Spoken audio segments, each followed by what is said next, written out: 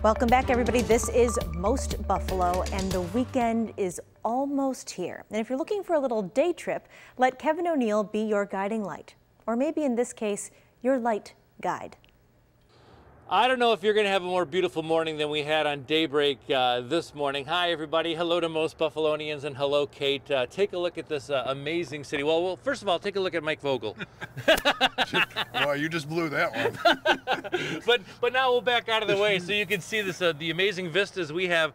We are uh, atop the iconic Buffalo Lighthouse and we're inviting all of Western New Yorkers to uh, view this uh, uh this property and come up on this wonderful structure as well. Uh, and I would say be a volunteer for the association.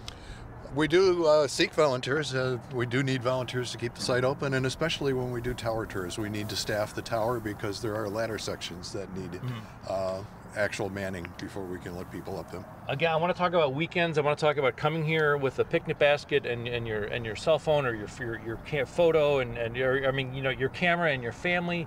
This is a great place to hang out on a nice afternoon. On a great afternoon, it's a it's a wonderful place to be with some views of the city that are just spectacular, mm -hmm. and uh, we do welcome uh, people down to it on this for the rest of this uh, August.